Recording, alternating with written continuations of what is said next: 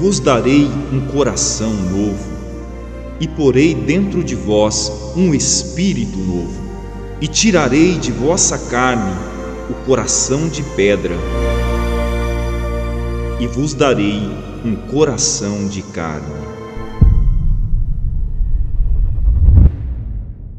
Paz de Jesus. Eu sou Ildefonso Guimarães, casado com a Maria há 52 anos. Eu sou a Maria, casada com o Ildefonso. Estamos juntos nessa caminhada. Assim que casamos, nós entramos numa num grupo, um grupo de familiar cristão e, e depois não saímos mais da igreja. Sempre participamos da, da parte de igreja. Quando voltamos aqui para Maringá, a gente é, encontrou um grupo de homens e de, de mulheres que rezava diferente. Aí quando nós conhecemos com um anúncio escrito tarde de louvor numa, no armazém numa padaria. Tava lá um cartaz.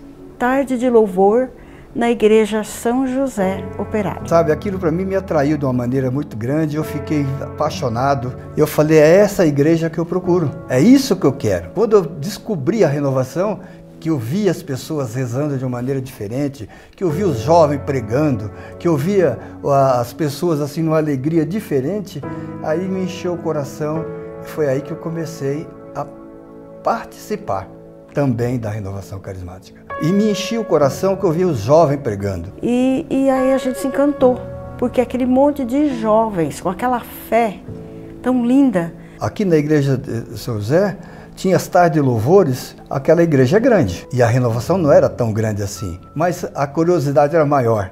Sabe, muita gente ia para ver o que estava acontecendo, o que, que, que, que era aquilo. Sabe, me lembra muito aquela questão dos, dos apóstolos quando começaram a rezar e, e a, mas o que está acontecendo? De onde vem essa sabedoria desse povo? Vinha um pessoal do Rio de Janeiro, né, trazer as formações então eu vinha assim, fazia um, um, encontro no final de semana, fazia aquela formação, depois a gente ia ministrar aquela formação para os outros, né? A gente fez muitos, alguns trabalhos bem interessantes dentro da inovação nesse período todo. Fundamos o grupo Lírio do Vale, lógico que para nós foi a benção das bênçãos que nós temos na nossa história. Nós começamos o grupo fazendo o grupo lá em casa.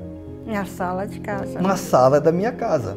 Só que aí nós tínhamos um tapete no chão, assim, as criançadas vinham ficava lá e, nós cantava, nós, nós é, um grupo do nosso jeito. Foi uns três ou quatro reuniões. Aí na quinta, sexta reunião já não tinha mais ninguém, só tava a mãe da Maria, a, a minha cunhada, a Maria e eu. Era quatro. E a gente não desistiu, não. A gente simplesmente falou, não, agora o grupo está montado, nós vamos tocar. É com quatro, com quarenta, com cem, com quantas pessoas forem, nós vamos tocar. E Deus foi suscitando gente de tudo quanto é lugar. Era incrível. A gente abria a porta assim, entrava e não tinha mais lugar para ficar. Sabe, a gente tinha uma sede muito grande de conhecer, a gente não tinha formação, a gente precisava dessa formação. A gente assinava e recebia, então a gente era do Clube da Boa Semente. Recebia uma fita cassete por mês e a gente ouvia aquela fita e rezava e aprendia. Formação que vinha do Padre Jonas pra gente. Sim. Ele veio, né, Eles, aqui em Maringá. Em 93, nós colocamos 10 mil pessoas no Willie Davis. Para a vinda dele. Para vinda do na vinda do padre. Foi na vinda do padre Jonas aqui. No Pentecostes. No Pentecostes. Aí o que aconteceu? Nós fizemos assim um, um, um batemos pesado em cima de divulgar mesmo. Gente, vinha ônibus nessas regiões todas aqui, começou a chegar ônibus, ônibus, lotou o Willie Davis, toda a orla do Willie Davis, em volta inteiro, lotado. Antônio Carlos, Josi, a esposa do Walter e o Walter a Lourdes e o Walter. Você precisa sentir o poder que tem o Espírito Santo na sua vida. Transformação de vida, mudança de vida, sabe? É, é, é vida nova, sabe? A renovação me deu uma coisas que muitas pessoas a gente não entende muito bem, só vai compreender depois. A mudança de vida total. A renovação resgatou a minha história. E eu quero dizer para você que está nos assistindo agora, eu quero falar uma coisa muito séria para vocês. Jovens, não desistam. Sejam perseverantes, porque só é quem tem a experiência do Espírito Santo, só quem tem o poder de receber a graça que Deus dá a cada um de nós, esse despertar de dentro de nós do Espírito Santo é que não, sabe? Quando ele sente isso, ele não larga mais.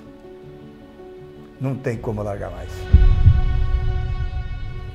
Olá, meus queridos. Eu sou a Vera, sou coordenadora da Renovação Carismática Católica neste tempo. Estou aqui porque nós estamos celebrando 45 anos do nosso movimento. Nós sabemos que nesses 45 anos, muitas coisas aconteceram, foram muitas famílias que foram resgatadas, muitas pessoas que foram tocadas por Deus, que voltaram para a igreja por meio do movimento da renovação carismática católica. Nesses 45 anos, nós sabemos que nós começamos lá numa casinha, talvez numa garagem, e hoje nós temos essa dimensão que são 104 grupos de orações acontecendo em quase todos os dias da semana. Mas Deus, Deus não quis que nós ficássemos apenas no numa garagem, como tantos grupos iniciaram. Deus tem muitos sonhos para nós. Nós tínhamos a antiga Cairós e agora nós temos o nosso novo centro de evangelização que está sendo construído, onde o derramamento de graça alcançará as famílias não só da nossa arquidiocese, mas de todo o nosso estado. Para o Reinflama deste ano, a promessa dele é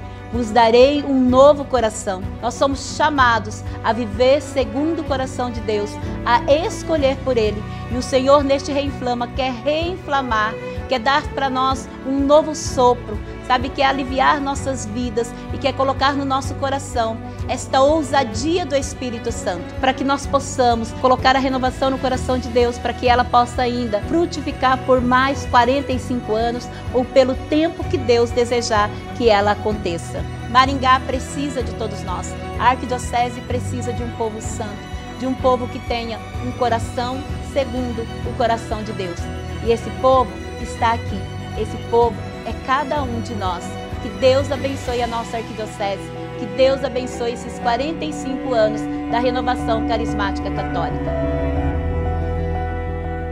Hoje é o dia, dia escolhido para o despertar, para uma nova vida, com um coração reinflamado pelo amor de Deus. Temos uma história para contar e ela nos trouxe até aqui mas o presente nos reservou páginas em branco para continuarmos esta história. O que vamos escrever, só o Espírito Santo revelará.